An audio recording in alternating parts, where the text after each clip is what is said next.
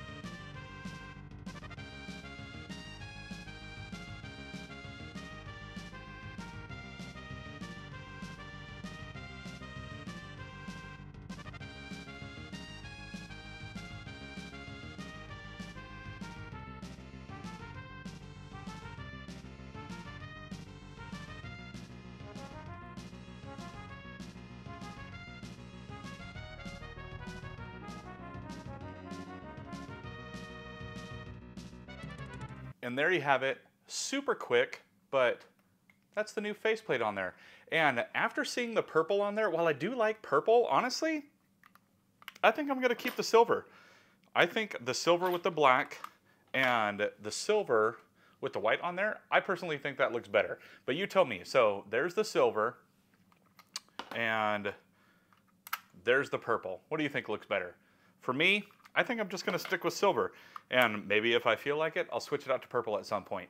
But there you have that plate. Super easy. Remove the side grips, five screws, take the plate off, put a new one on, put it all back. And since this went so quick, I decided that I wasn't just gonna do one of these. And again, thanks to the folks over at Extreme Rate, I didn't have to do just one of these. So I did my Elite, and then I also did one of my kids' controllers. There you go. You got that original Xbox One look right there. And I did another one of my kids' controllers. You have an Xbox Series controller right there. And as you can see, this one is kind of like that high gloss finish, and this one is the soft touch. And I will say, uh, it is very soft to the touch. It is a very nice feeling.